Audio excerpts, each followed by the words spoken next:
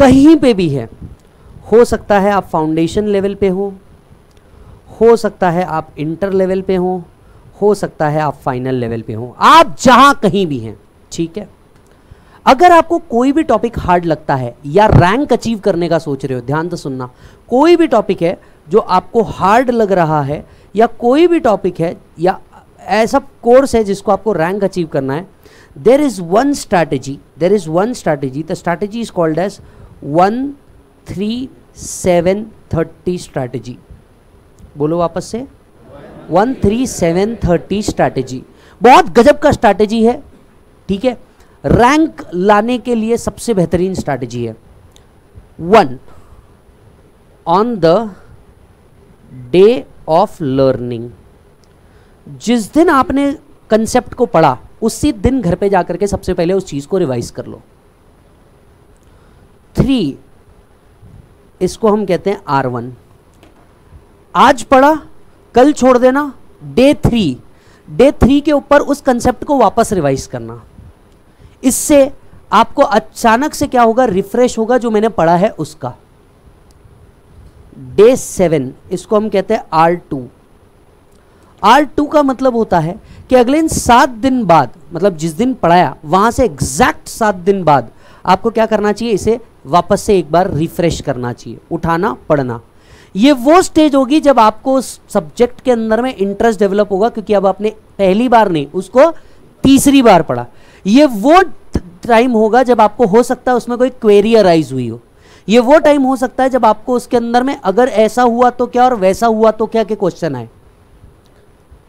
Day thirty इसको हम कहते हैं आर थ्री रिविजन आपका फाइनल तीस दिन के बाद इसे सीधा आपने पढ़ना है बिफोर एग्ज़ाम बिफोर एग्ज़ाम का जब आप अपना रिवीजन करते रहते हो, तब. But mandatorily one three seven thirty अगर आपने फॉलो कर लिया तो आप जीत जाएँगे और कंफर्म रैंक में आएँगे. अब आप ये पूछेंगे कि, सर, हमें कैसे पता? कल क्या खाया था वो याद नहीं जीवन के अंदर में?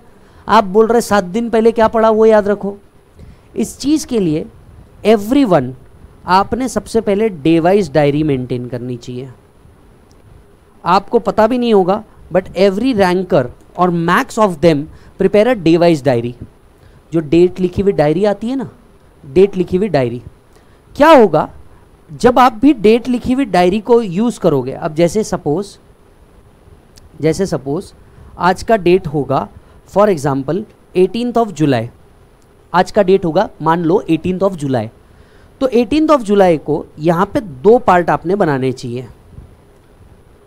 डन टू बी रिवाइज क्या करना चाहिए? Done to be revise done में आपने यहाँ पे लिखना है अकाउंट्स में क्या हुआ?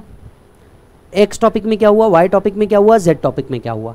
यानी यहाँ पे किस टॉपिक में क्या हुआ आपको वो लिखने हैं? नंबर ऑफ़ क्वेश्चन हुएँगे तो क्वेश्चन के साथ साथ द कॉन्सेप्ट कॉन्सेप्ट के साथ साथ question number one question number two और question number one two eighty whatever to be revise हो सकता है इसके तीन दिन पहले या सात दिन पहले कुछ आया होगा। तो टू बी रिवाइज के अंदर में टॉपिक वाइज लिख करके आपको अगेन अकाउंट्स के अंदर में मुझे क्या रिवाइज करना है? इसमें तीन दिन पहले का है सात दिन पहले का हो सकता है। वो लिखना है और उसके बाजू यहाँ पे आर वन आर टू या आर थ्री जो भी आपका हुआ होगा वो लिखना है।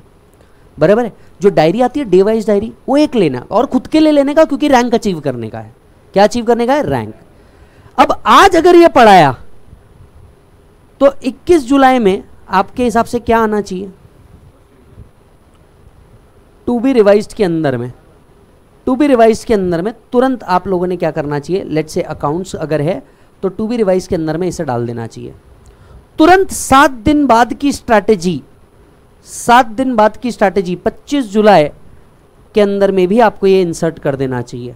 और तुरंत 30 दिन बाद के स्ट्रैटेजी में भी आपको ये अपडेट करना चाहिए। इन शॉर्ट आप एक एंट्री एक जगह नहीं, कितने जगह करोगे? तीन। तो आपको खुद अपने ऊपर ट्रैक रहेगा। और दूसरी बात दूसरी बात, रोज जा करके, रोज जा करके डन और नॉट डन ये चीज़ लिखना। अगर डन किया तो यहाँ लिखना वेरी गुड और आप जो भी लेवल पे हो, उसका नेक्स्ट लेवल लिख देना. फॉर एग्ज़ाम्पल अगर आप फाउंडेशन में हो तो आपने लिखना इंटर फॉर श्योर आप इंटर में हो तो लिखना फाइनल फॉर श्योर फाइनल में हो तो लिखने का टू गोल्डन वर्ड्स समझ में आई बात? और यहाँ पे अगर नॉट डन है तो अपने ही हाथ से लिखना एक दिन लिखोगे, दो दिन लिखोगे, तीन दिन लिखोगे, चौथे दिन से खुद को गिल्ट होने लगेगा। ट्राई करो। देखो, कोई भी चैलेंज इतने आसानी से नहीं होता। अगर तुमको लिटरली लगता है कि यार एक शेड्यूल चाहिए, यार मेरे को बहुत मस्ती हो गई, अब मेरे को पढ़ना है लाइफ के अंदर में। एक बार करके देखो ना, ज़्यादा से ज़्यादा क्या होगा? एक डायरी का कॉस्ट वेस्ट हो जाएगा। ज़्यादा से ज़्यादा क्या हो जाएगा? चार दिन करोगे, पाँच दिन बाद बोलोगे, छोड़ना यार, कौन टाइम पास करते लेकिन एक डिसिप्लिन को लगाने के लिए मिनिमम सात दिन लगता है मिनिमम एक डिसिप्लिन सात दिन अगर तुमने ये कर दिया और खुद लिखने लग गए अटेम्प्ट आज हुआ, नहीं हुआ अटेम्प्ट और नहीं हुआ, तब तक के लाइफ में कुछ नहीं करना। क्रिकेट हो, आंधी आए, तूफ़ान या अंबर पड़ जाए। तेल लगाने गया मेरे को आज ये करना है मतलब करना है। अगर तुमने बस इतना भी डिसिप्लिन फॉलो कर दिया, मैं तुम्हें कहता हूँ कि तुम रैंक में हो। कंफर्म रैंक में हो। मतलब यहाँ पे पास होने वाला ऑप्शन नहीं है ये। क्योंकि सोचो तुम एक चीज़ को कितने बार पढ़ रहे हो? मिनिमम चार। क्लास में पढ़ा, खुद के तीन रिवीजन एग्ज़ाम से पहले एक रिवीजन चार बार जब एक चीज़ को पढ़ लोगे, जीवन में बचेगा क्या? चार बार अगर तुमने एक ही चीज़ को पढ़ लिया नो डाउट ये करना आसान नहीं है। पहला दिन लगेगा, क्या टाइम पास कर रहे हैं? दूसरे दिन लगेगा, अबे क्यों ही ये करना है? तीसरे दिन लगेगा, अरे यार साला दो दिन का बाकी है, पहले वो कर लेता हूँ। अगर आपका एक दो दिन किसी रीजन की वजह से छूट भी जाता है आपको याद रखना उस दिन आपको डबल मेहनत करनी है। पीछे का भी और इस बार भी। तुमने ईमानदारी से सात दिन अगर नई मेहनत की और हर रोज लिखते गए ना attempt attempt attempt attempt attempt attempt तो तुमको अटेम्प्ट से खुद ही डर लगेगा, झक मार के सातवें दिन बैठोगे। झक मार के सातवें दिन बैठोगे। You don't need any Vijay Sarda to tell you कि तेरी एक ज़िम्मेदारी है तेरे परिवार के प्रति। तू एक बहुत बड़ी कॉस्ट लगा करके आया है। You just need a discipline on yourself और वो इसी चीज़ से आ सकता है। You just need a discipline on yourself और वो इसी चीज़ से आ सकता है। I you getting my point लगता है, वापस से लिख लो। One three seven thirty strategy इसको क्या करोगे? R one R two R three diary कैसे बनानी है? ऐसे बनानी है। एक डेवाइज डायरी लेनी है। डेवाइज डायरी में क्या क्या हुआ और मुझे क्या क्या करना है? किसी को कोई सवाल है तो ज़रूर पूछो। सर टाइम बचता है, इसके अलावा एक्स्ट्रा पढ़ सकते क्या? बिंदास पढ़ो, कोई प्रॉब्लम नहीं है। एक्स्ट्रा करने में कोई प्रॉब्लम नहीं है। सर, समझ नहीं बचता। बट मेरे हिसाब से इतना भी कर लोगे तो काफ़ी है। तुमको रैंक का स्ट्रैटेजी चाहिए थी दिस वॉज़ इट